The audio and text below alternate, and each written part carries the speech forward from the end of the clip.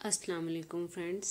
आज की जो ज़बरदस्त सी रेसिपी मैं लेके आई हूँ, वो है सिनामन फ्रेंच टोस्ट ये आपको यकीनन बहुत पसंद आएगी। तो चले चलते हैं इंग्रेडिएंट्स की तरफ़। इसके लिए हमें चाहिए two eggs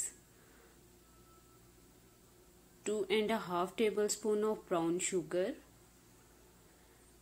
one teaspoon of cinnamon powder and one by four cup of milk अब इन सब चीज़ों को मिक्स करके बीट कर लें। ये अब मैंने बीट कर लिए सब चीज़ों को। अब हमने ब्रेड के चार स्लाइस ले लेने हैं। इस क्वांटिटी से समटाइम्स पाँच और समटाइम्स छः भी बन जाते हैं। अब हमने एग और सिनामन वाला बैटर ले लेना है और ब्रेड को उसमें अच्छी तरह से डिप कर लेना है दोनों साइड से।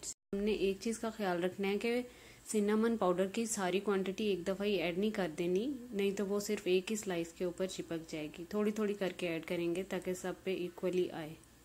ये देखें, अब दोनों साइड पर बहुत अच्छी तरह से लग गया है। इसके साथ साथ जो है, हम तवा या पैन भी रख देंगे तवे पर जो घी डाला था, वो गर्म हो चुका है और अब हम साथ ही स्लाइस भी ऐड कर देंगे और दोनों साइड से फ्राई कर लेंगे। लीजिए ये तैयार है मज़ेदार से।